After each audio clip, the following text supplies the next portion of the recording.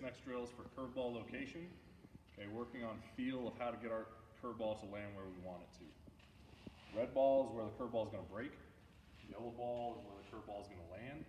Okay, working on the path of the curveball. So when you throw the ball, it's going to break at the red ball, land at the yellow ball. Okay, it's a three-dimensional visual to help locate our pitch.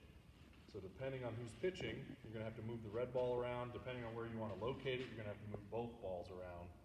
Okay, but this drill will really help you visualize where your curveball is gonna break in order to throw a strike.